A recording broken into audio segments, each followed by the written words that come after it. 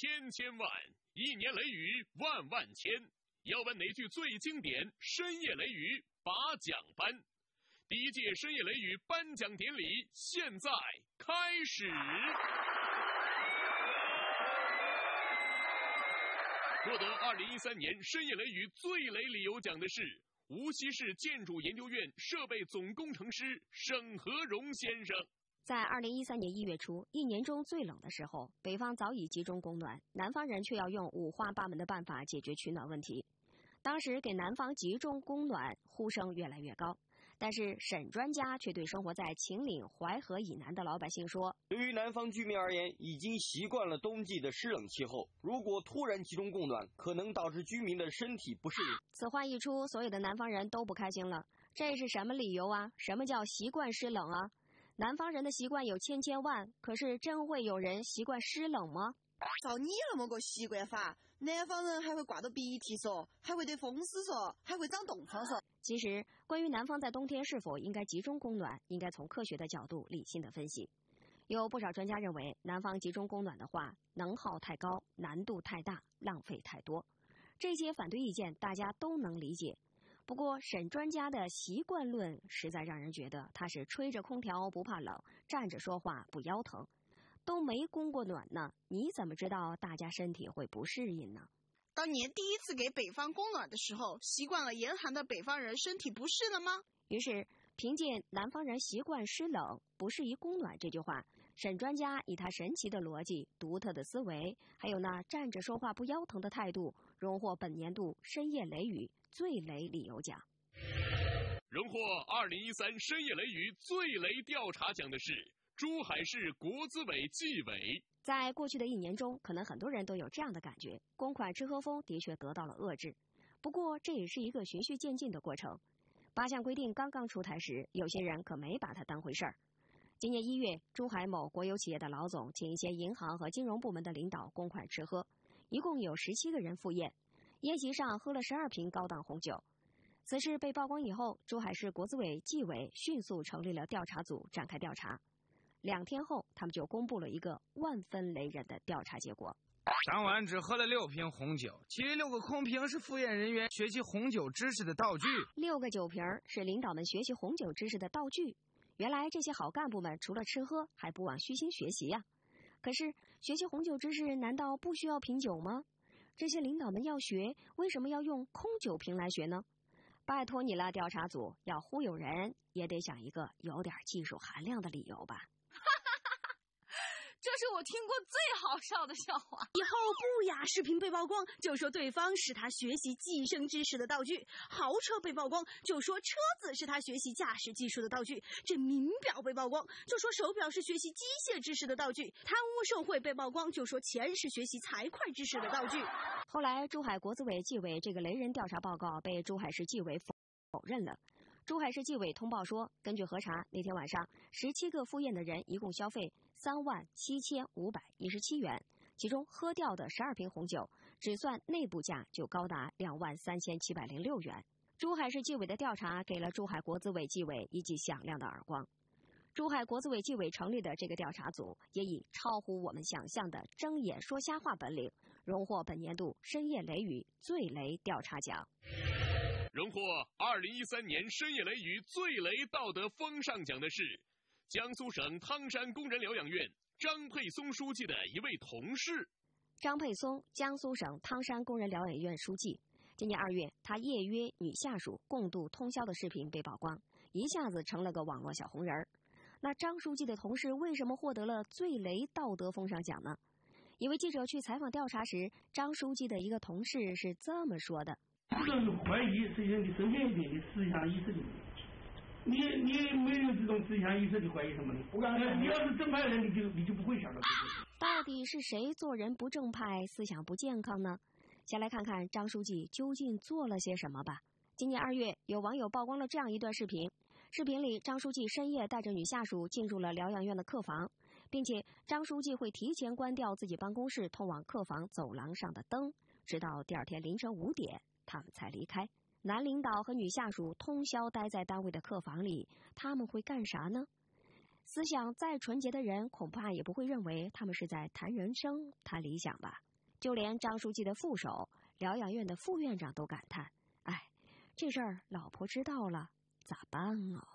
这东西我们在这实事求是讲，大家都有家庭的，老婆看了很心可是当记者前去采访时，张书记连连喊冤，说事情不是你们想的那样。我那是因为工作原因喝多了酒，只能到客房休息。休息的时候就叫个女下属过来进行照顾。张书记，难道需要女下属照顾你一个通宵吗？张书记，您夫人相信这句话吗？不管张书记的夫人信不信，反正记者不信，可是有人却信了。张书记的一位同事，当然也是他的下属，就说：“你们这些人呢，就是思想意识有问题。”这是怀疑，实际上你的思想意识的问题。你你没有这种思想意识，你怀疑什么呢？你要是正派人，你就你就不会想到这些。看到没？你们这些记者一个个思想都不纯洁，你们这些网友一个个思想都不健康。面对这样一个思想纯洁的好同志，二零一三年深夜雷雨最雷道德风尚奖，除了颁给他，还能颁给谁呢？荣获二零一三年深夜雷雨最雷保密奖的是广州市食药监局。今年五月，从广州传来了一个让所有人为之紧张的消息：广州市面上超四成大米铬含量超标。原来，广州市食药监局对市场上相关产品进行抽检时发现，超四成大米及米制品质量不合格，存在重金属铬含量超标的问题。要知道，铬可是毒性较大的重金属，长期在人体中积累会损伤肝肾等器官，影响生育，甚至致癌。那么，是哪些品牌的大米有问题呢？对于这个所有老百姓都关心的问题，广州食药监局竟然是这么回答的：现在只公布数据，具体的名单暂时不方便透露。发现了各大米，却不告诉你各大米的名单。中国人可以不吃肉，但却不能不吃饭呢？难道广州食药监局是准备眼睁睁的看着广州的百姓继续吃各超标大米，继续慢性中毒吗？这句。暂不便公布具体名单的雷雨一经公布，便引来讨伐无数。广州食药监局是拿着纳税人的钱，保护着商人的利益，伤害着老百姓的心啊！为什么不公布？凭什么不公布？如果只公布数据，不公布品牌，那这样的抽检又有什么意义？食药监局的本职工作就是维护食品安全，保护百姓健康。那他们为什么不公布各大米的名单呢？为什么要为生产了各大米的厂商保密呢？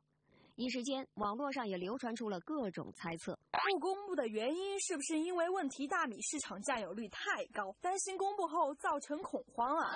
不公布是在保护企业名誉，还是在维护自身利益？在舆论的轰炸下，在各界的压力下，几天后，广州食药监局还是公布了各超标大米及米制品的名单。同时，他们也承认，那种只公布结果不公布名单的做法的确不妥。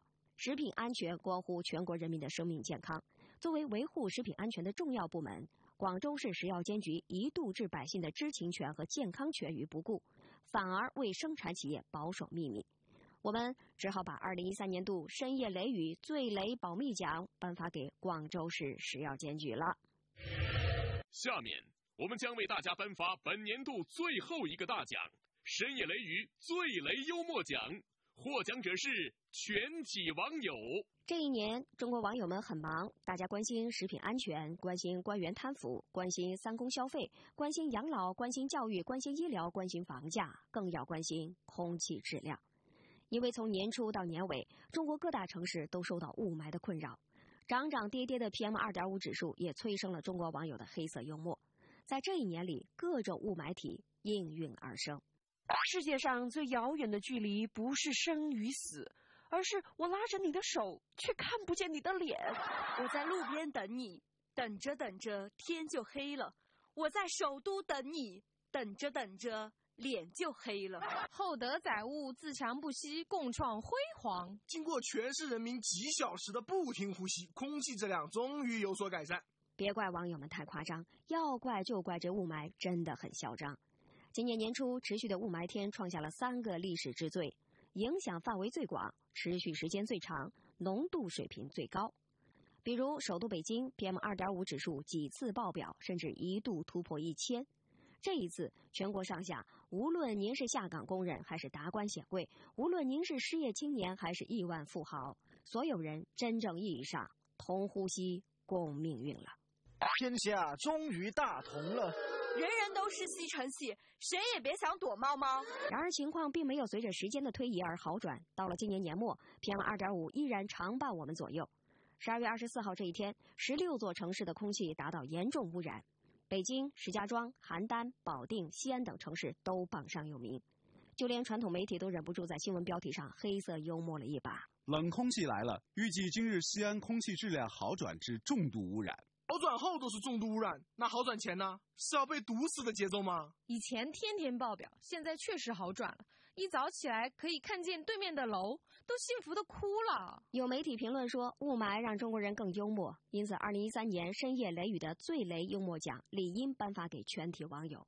虽然颁发的是幽默奖，但我们颁奖的心情却比黑后的雾霾更沉重。只希望在来年天气能够给力一点，不要再给网友们提供继续创作雾霾体的机会了。